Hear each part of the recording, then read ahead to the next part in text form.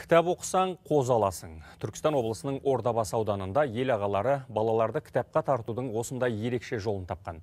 Олар ең көп көркем шығарма оқып, мазмұнын айтып берген балаларға бір-бір қозыдан беріп жатыр. Сонымен алғашқы қозы кімге бұйырды, тілшіміз Жандос Жұмабек біліп қайтты. Бұл Әлиханның кітап оқып тапқан алғашқы малы. Қолы қалт етсе болды, қозысына жем суын беріп жағдайын жасайды.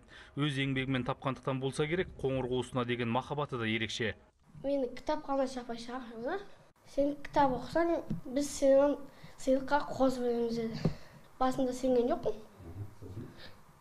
Сөйтіп кітап оқығаннан кейін берді қозы. Осы байқаудан кейін 6 сыныпта оқитын бүлдіршін кітаптан бас алмайтын болды. Кітап оқыған адамның ой өрісі өсіп, тіл байлығы артатын жақсы түсінген Әлихан қазір қазақ ертегілер жинағын, алтын сандық кітабын тауысқан. Бүгін мектеп кітапханасына барып жаңа кітап жаздырып алды. Байқауға ауылдағы ел ағалары бастамашы болған. Бұл жердегі мақсатымыз сыйлық беру емес, баланың назарын кітапқа аудару болды дейді.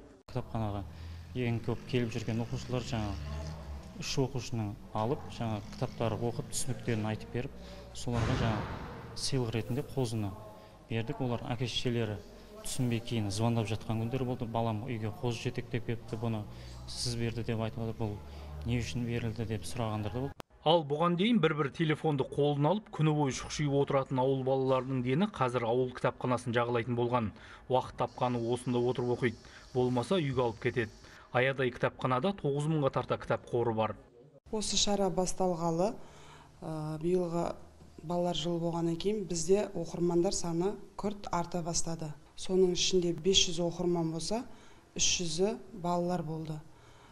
Осы жылда балаларға біз 1500 кітап тараттық Осы айда жүлде қоры одан да қомақты болмақ. Демеушілер қозының санын арттырып отыр.